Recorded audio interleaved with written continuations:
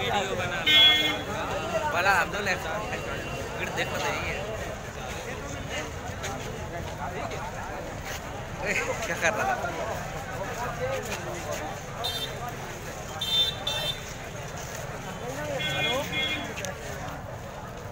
Hello?